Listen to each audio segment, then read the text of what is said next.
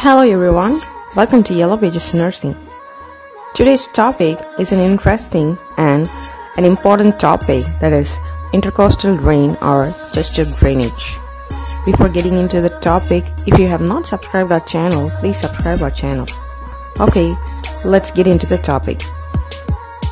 Intercostal drain or chest tube drainage. Chest tube is a hollow, flexible tube placed into the intercostal space. It acts as a drain. Chest tubes drain blood, fluid, or air from the pleural cavity. Now, let's have a look on the important functions of chest drains or underwater sealed drains. Chest drains are inserted to allow air, blood, or pus from the pleural cavity. It restores negative pressure in the pleural space to re-expand the lung. It promotes adequate gas exchange. It prevents drained air and fluid from returning to the pleural space. Here, you can clearly visualize the membranes of the lungs, the parietal pleura, pleural cavity, and visceral pleura. Let's look into the conditions where chest drains or ICDs are indicated. Hemothorax Hemothorax is the accumulation of blood within the pleural cavity. Next comes pneumothorax. Pneumothorax is the accumulation of air in the pleural space between the lung and the chest wall. Next comes tension pneumothorax. Tension pneumothorax is a condition when air goes inside the pleural cavity but cannot come out of it. Hence, there is air trapping and ipsilateral lung is compressed. It happens even when the chest drains are clamped for a certain period of time. Next is hemopneumothorax. Hemopneumothorax is the accumulation of blood and air within the pleural cavity. Next comes chylothorax. Chyle in the pleural cavity. Chylothorax is a rare condition in which lymphatic fluid leaks into the space between the lung and the chest wall. When this fluid builds up in the lung, it can cause a severe cough, chest pain, and difficulty breathing. Next is empyema. Empyema is defined as a collection of pus in the pleural cavity. Next will be pleural effusion. A buildup of fluid between the tissues that line the lungs and the chest is called the pleural effusion. Some of the lung and heart surgeries may also need intercostal drainage post-operatively. Now, looking into the site of the chest tube drainage insertion.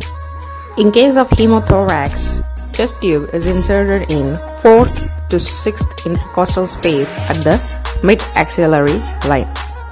And in case of pneumothorax, chest tube is inserted in 2nd or 3rd intercostal space in the anterior chest at the mid-clavicular line. Let's get into the Types of drainage systems. We have single bottle, double bottle and three bottled drainage systems. Single bottle drainage system The chamber serves as a fluid collector and a water seal. During inspiration, fluid in the chamber ascends and during expiration, fluid in the chamber descends. Two bottle drainage system. The use of two chamber permits any fluid to flow into the collection chamber as air flows into the water seal chamber. Two bottle system are used when larger amounts of drainage are expected. You can see the picture here where one container is used as the trap bottle and the other one is water seal. Next comes 3 bottle drainage system. When air or fluid needs to be removed with controlled suction. All three chambers are used. Usually, 15 to 20 centimeter of water pressure is used for adults.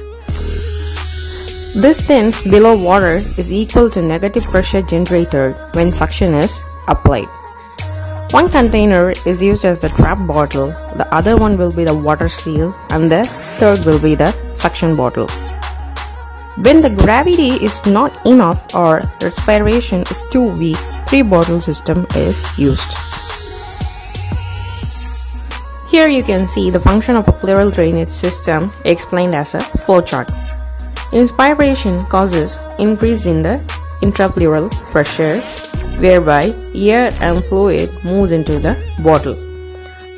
The intrapleural space becomes negative causing the lung to re-expand which becomes a cycle thereby. Now, principles of the chest tube. There are three main principles of the chest tube gravity, water seal, and suction. Gravity is chest drain placed below the patient's bed. Water seal prevents backflow. Suction is applied if the gravity is not enough or respiration is too weak. The purpose why suction is needed is when gravity drainage is not enough or when patient's respiration and cough are too weak or the air leak is passed into the pleural space or when there is a need to speed up removal from the pleural space. Nurses' responsibilities for a patient who is on ICD includes monitoring vital signs, oxygen saturation, pain assessment, position, checkpoints of chest drainage, and intake output chart. Vital signs are monitored every 15 minutes for the first hour post-operatively and for every 30 minutes for the next 2 hours and hourly thereafter. Checkpoints of an ICD includes site, tubing and drainage bag or the bottle. Nurse's responsibility regarding the site includes check the insertion site for oozing or discharge or surgical emphysema.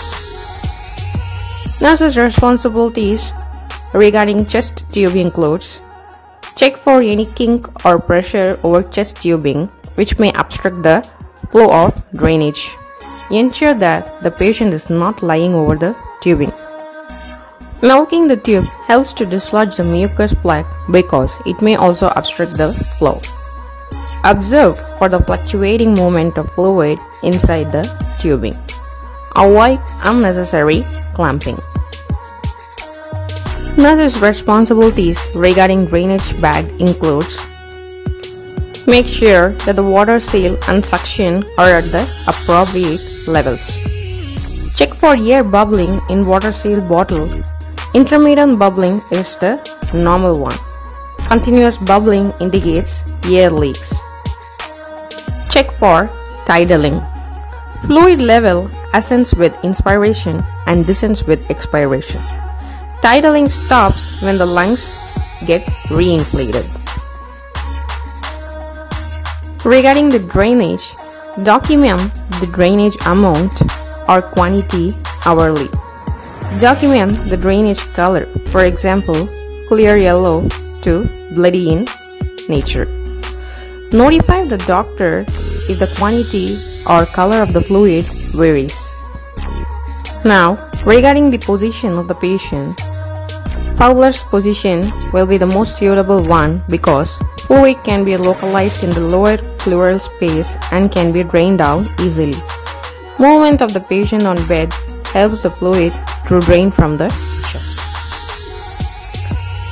How do we empty the water seal drainage bag or the bottle? Clamp the tubing first. Next is to empty the drainage. Refill the bag with saline or water up to the water seal level. Then unclamp the tubing. In case of accidental removal of chest tube, immediately seal up the insertion site with sterile gauze. Removal of ICD is indicated when drainage is less than 100 to 150 ml for 24 hours. When the chest x-rays show that the lung is expanded fully. Absence of air leak while patient performs deep breath and coughing. Some of the situations when we notify the physician are if the drainage is more than 70 ml per hour, sudden onset of dyspnea, when the oxygen saturation drops below 90%, when the chest tube disconnects from the drainage system. If so, immediately put the end of the tube in a container with water and keep it below the chest level before informing the physician. Here you go with the intracostal drainage system or the chest tube drainage system. If you find this video useful, please like it and subscribe it and don't forget to hit the bell icon. Thanks for watching and have a nice day.